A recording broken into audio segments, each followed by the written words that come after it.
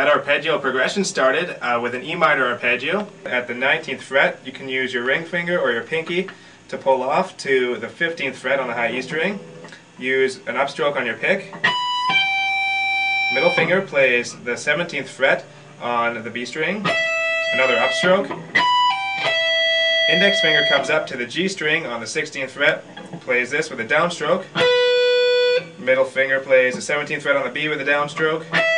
Index plays the 15th fret of the high E with a downstroke. So that's sweep picking, up, up, down, down, down, up, up, down, down, down.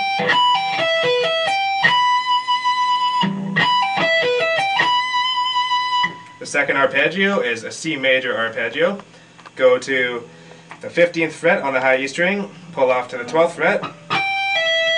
Middle finger comes around, plays the 13th fret of the B string. Index finger plays the 12th fret of the G string. Middle finger plays the 13th again. Index plays the 12th again. Same uh, picking pattern, up, up, down, down, down.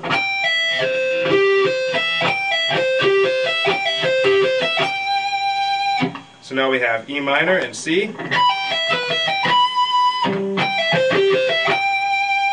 Now go to the 10th fret on the high E string and pull off to the 7th fret. Middle finger plays the 8th fret of the B string. Index plays the 7th fret of the G string. This is a G major arpeggio. The final arpeggio is a D major arpeggio. I use a pinky to pull off from the 14th fret of the high E string to the 10th fret. Finger then plays the 10th fret of the B string. Middle finger plays the 11th fret of the G.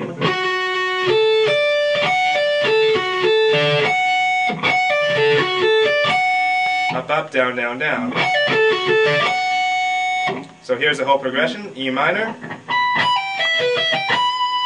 C, G, D major.